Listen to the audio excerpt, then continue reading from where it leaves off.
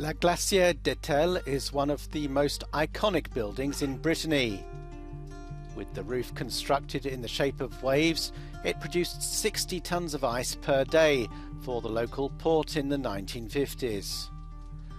And its restoration proved quite a challenge.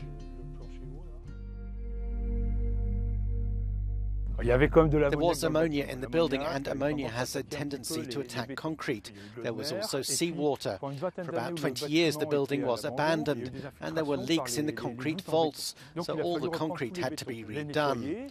We had to clean it, stabilize the steel. We kept the beams, but the boards were broken up and rebuilt. There's still the vaults and the four walls, but all the rest had to be changed. Another problem was finding techniques to renovate concrete because we realized there have been very few concrete renovation projects. For example, the vaults, which were in poor condition, were reinforced with carbon film and then cement underneath.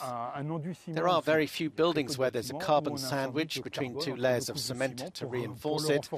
So we used very modern techniques to keep this concrete in an old building, and that's what was a bit funny. And then we had samples of the concrete which went to Toulouse to laboratories to check what state it was in, to see if we had to take the restoration further or if what we'd done was enough.